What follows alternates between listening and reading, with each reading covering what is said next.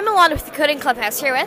Derek Bonuccelli from Zebra Technologies. So, what is Zebra Technologies? Zebra Technologies is all about asset intelligence, whether it be the automotive industry, the healthcare industry, or here we're talking about our partnership with the NFL.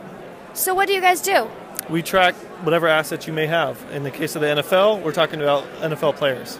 So, basically, you have a virtual NFL game that you can watch from your computer screen? You definitely can do that. Since we have a full di- digital record of the events, we know where everybody was at all times, how fast they were running, how far they ran, and their accelerations as well.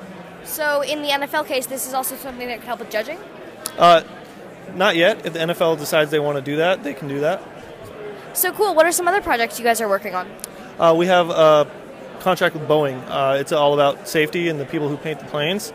Uh, we have contracts with Ford. We have contracts with people um, working in NASCAR for pit crews and, and giving uh, more information about how their performance is. So, what's the goal for Zebra? Zebra is to provide as much intelligence on the assets as possible to the consumers. Cool. And this is all going to the cloud? Uh, some of it goes to the cloud. The NFL data does go to the cloud, uh, but it really depends on the project. Cool. So, is there anything else you'd like to say? Uh, just watch out for the next gen statistics project, and you'll see some cool things coming in the future. What advice do you have for young coders in the world? Just keep at it. I know it's tough. It's it's hard to get into, but once you do, you'll be able to do some cool things.